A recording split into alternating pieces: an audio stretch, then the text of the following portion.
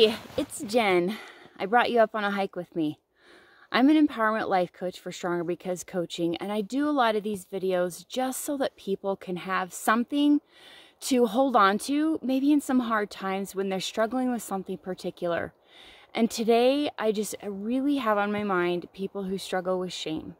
And this is really close to me because I've had this struggle in my life where I just start feeling like I, I, know where shame comes from. It's where we just feel like we don't do it well enough, we're not enough, or we're not doing it right. And it's just a really hard, difficult place to be. It's really hard to move forward because what shame does is it it teaches us to hide. It, it whispers to us that we're not good enough. We need to get off the radar. We need to hide.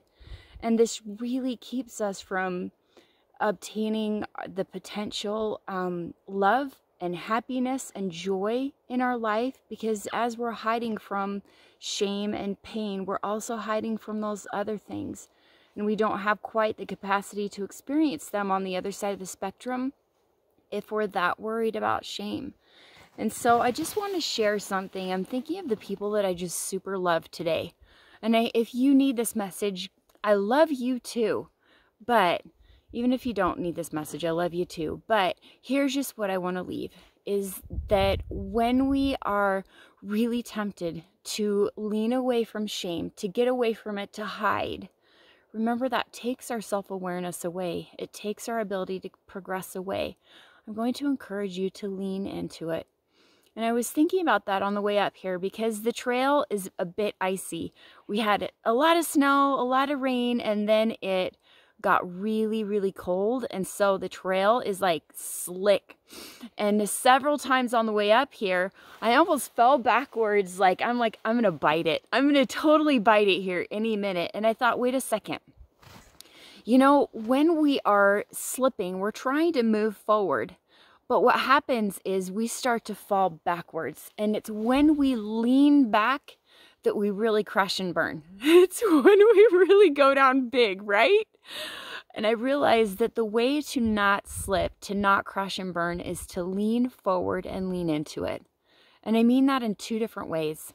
When we are leaning into shame, we're allowing it to be there. We're not trying to resist it in any way.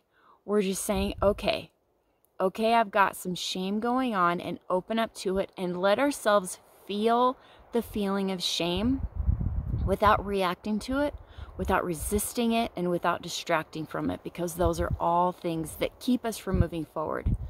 But the other way I, I talk about, the other thing I mean when I say lean into it, is I mean lean forward. A lot of times we're in shame, we're looking at evidence to to support that we're doing it wrong. We'll find things in our in our background, in our past that say, see, you're not good enough and you're not doing it right. And here are all the other times that you haven't done it right and you haven't been enough.